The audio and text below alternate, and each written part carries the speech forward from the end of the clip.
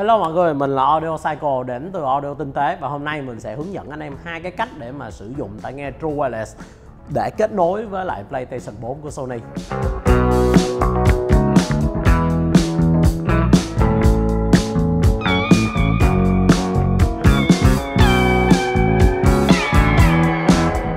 Rồi cái lý do là tại sao mình làm cái clip này đó là tại vì thường là nếu như mà anh em mà sử dụng tai nghe True Wireless hoặc là tai nghe Bluetooth hoặc là loa Bluetooth để anh em kết nối với lại cái Sony PlayStation 4 này, thì nó sẽ thường nó bị một cái vấn đề đó là nó sẽ không nhận nhau và nó chỉ hỗ trợ một số cái tai nghe gaming mà có để là support PS4 thôi. Vậy để mà chúng ta có thể kết nối được những cái tai nghe True Wireless hoặc là cái tai nghe Bluetooth mà anh em có với PS4 chúng ta phải cần phải có một cái thiết bị trung gian ở giữa để mà chúng ta có thể thay đổi được cái giao thức của nó. Ok mình sẽ giới thiệu chi tiết đến anh em hai cái thiết bị này. Rồi đầu tiên là mình sẽ giới thiệu với anh em về cái RHA Wireless Fly Adapter này. Thì cái Wireless Fly Adapter này nó dùng để dành cho những anh em nào mà đi công tác á Thì anh em có thể mang lên trên máy bay, anh em gắm vô cái lỗ audio trên máy bay Và anh em có thể tận hưởng cái chất lượng âm thanh nghe nhạc Hoặc là coi nội dung audio với cái tai nghe Bluetooth của anh em.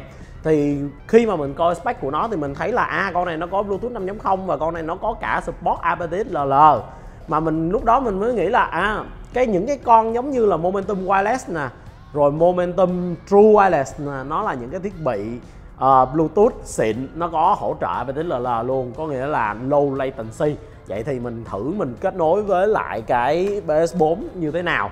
Đó con này nó sẽ có một cái jack 3.5 để anh em có thể gắn vô cái uh, tay cầm của anh em thật ra là cái cách kết nối và cái cách sử dụng của nó rất là đơn giản. Anh em có thể tham khảo chi tiết thêm trong bài. Ở đây thì mình sẽ đánh giá cho anh em là cái điều ngạc nhiên của nó làm được. Đó là nó mang lại cái độ trễ rất là thấp cho cái game. Có nghĩa là mình, khi mà mình nghe, mình chơi game, mình cảm thấy là cái độ trễ của nó gần như là nó không có và mình cảm thấy là giống như là mình đang sử dụng tai nghe có dây để mình chơi game rồi đó. Và nó sẽ giải quyết cho anh em rất là nhiều cái vấn đề. Đó là cái con này không chỉ đó tác dụng với lại những cái con giống như là Sennheiser Momentum True Wireless ở đây mà mình đang sử dụng nè.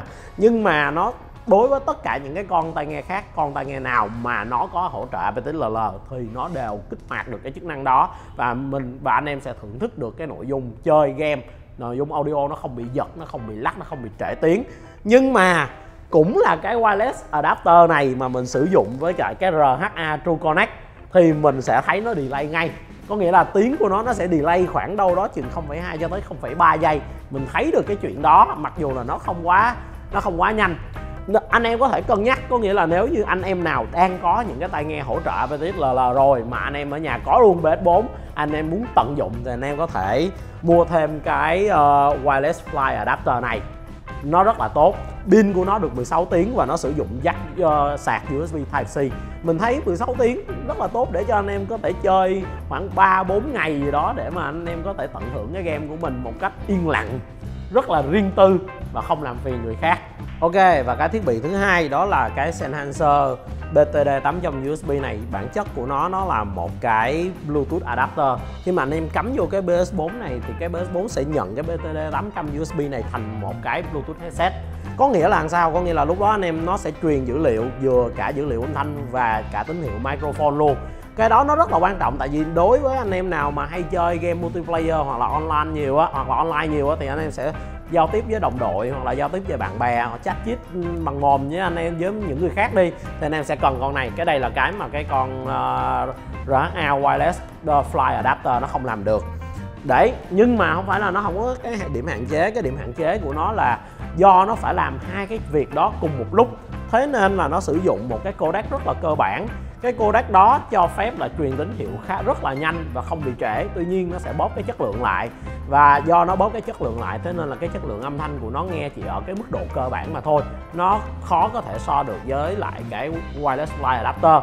Nhưng mà với hai cái ưu điểm là nó có thể sử dụng cho những bạn nào chơi game multiplayer, cần chat, cần liên lạc với đồng đội, thì đây là cái con tai nghe mà sẽ cần thiết cho anh em. Đó rồi uh, cái cách kết nối cũng giống như là cái phương pháp uh, sử dụng của nó thì nó rất là dễ mà mình có nêu tả chi tiết ở trong bài rồi. Anh em có thể đọc thêm bài.